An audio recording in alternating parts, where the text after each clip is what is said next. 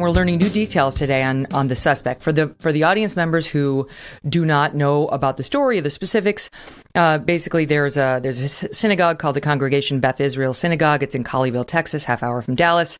A man named Malik Faisal Akram for the from the United Kingdom, 44 years old. Uh, came to America about two weeks ago, lived in a homeless shelter, then emerged bought a gun on the street, according to President Biden. That's what he said. And went into the synagogue. It's actually just so sad in a way, Monica. You know, it shows the goodness of those inside the synagogue. Um, this guy comes up, he knocks on the window. The rabbi lets him in, um, welcomes him, uh, gives him a cup of tea sits down, have a, a, cup of tea with him, and then the guy raided the services at 11 a.m. while people were praying. Four people taken hostage, 12 hour standoff. Eventually, the FBI, to its credit, killed the gunman, and no one else lost their life. Okay, but the headlines today are. And by the way, two others are now in custody over um, in the UK. Two teenagers, they say, though. So the, the plot may be growing, may be wider than just this guy, though unconfirmed. Okay. They people are asking this morning how this guy got into the United States. Apparently, he did have a criminal history in the UK. Again, he's a 44 year old man. He had a criminal history in the UK. Um, and these tourist visas he was here on are supposed to be off limits to foreigners who have broken the law. Uh, and not only was he a convicted criminal over there, but they are now reporting that he was known to MI5 and he was the subject of an investigation as recently as late 2020 but by the time he flew to America, he was no longer subject to an investigation over there. So you tell me what he was doing in the United States and why this guy got a visa. So that's the critical question, Megyn. and a full investigation has got to take place that is clean and honest. And we know that the FBI in recent years has experienced a lot of controversy and upheaval and tumult for very good reason. Uh, the FBI, at least at the leadership level, and some would argue even further down, um, has largely been politicized. And we also know that law enforcement at all levels, including the FBI, has uh, been um, sort of high hijacked by woke philosophy and this woke culture. And you can't talk about certain classes of criminals because it's politically incorrect. Well, we know the result of that, and that is rising crime, rising events like this that could very well be part of an international jihadi plot because you do have these two individuals in the UK who've been arrested as part of this. So we know that when woke philosophy and thinking turns into woke action, particularly with the military and law enforcement, you have a serious problem. And mm-hmm. this is the result of what we're seeing. So, very, very uh, obvious, and I think serious question needs to be asked How did this individual get into the country? Where, as you point out, he had a criminal history in the UK. He was known to the UK intelligence agencies.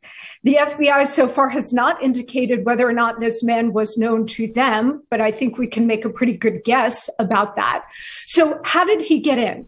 Well, Megyn, what we do know is that one of the very first things President Biden did when he entered office was revoke multiple Trump orders of enhanced vetting of foreign nationals coming into the United States. So Trump put into place all kinds of restrictions to come in to make sure that foreign nationals were vetted in the most extreme kind of way. So we weren't letting individuals like this into the country. There's a reason why President Trump didn't have these kinds of attacks when he was president.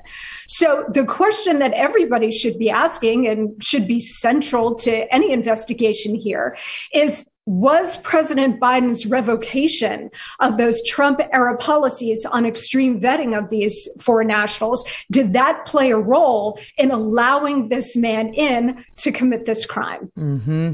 Well, we we need answers. The FBI can't stay silent. Why are the British authorities speaking out about this guy having been investigated by them, but our FBI has said nothing? They won't confirm whether they knew or didn't know so far. And this is after they botched their messaging about this over the weekend, which we can get to in a second. But just want to stay on the latest for right now. Um, accordingly, according to um, the Daily Mail and the BBC, this reporting, MI5 investigates around 3,000 subjects of interest and has has about 600 live investigations at any given time. All right, so about 3,000 subjects on their radar. This guy no longer was, but it wasn't so long ago. He'd been on there.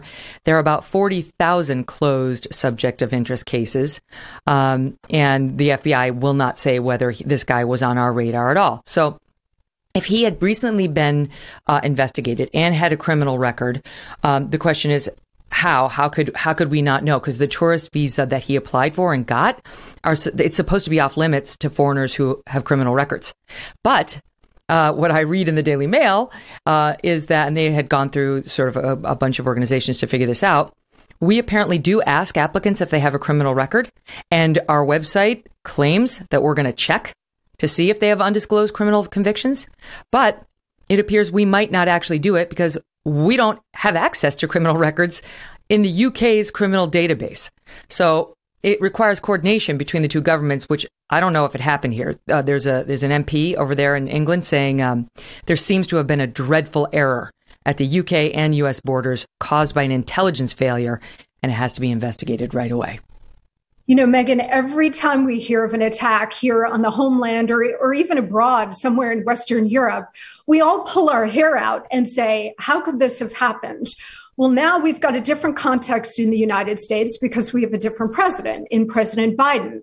And he has chosen a couple of routes. Number one, a catastrophic withdrawal from Afghanistan, leaving Americans behind and creating a power vacuum into which the world's worst bad guys are now entering, including Iran, the Taliban, Al Qaeda, China, Russia, you name it. So that now is a staging of uh, area once again for these kinds of terrorists.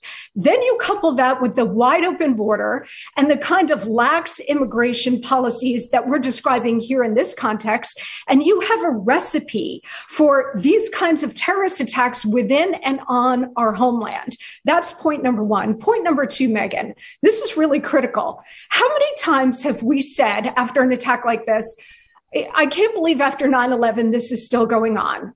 So after 9 11, we had the 9 11 Commission, and they had two major points that came out of that massive investigation. One was to get Western countries to work together to flag individuals and terrorist organizations so that they could, the, the UK, for example, could communicate with our intelligence agencies and flag an individual like this. That was number one. Number two, here at home was to lower the wall between our intel agencies and our law enforcement agencies like the FBI. And once we stood up the Department of Homeland Security, that agency as well, lower the wall that separated those two so that they could more easily communicate about potential threats here at home. So after that, we were told that both of those things happened now, maybe they did, but maybe not to the extent that we need. I know President Trump really tried to resolve that and fix it and, and get it to a place where we weren't having these kinds of threats. But if those walls have gone back up, and if there is gross inefficiency in the way countries are talking to each other and intel and um, and and uh, law enforcement agencies are talking to each other. Well, that better be fixed, and it better be fixed stat because American lives are on the line.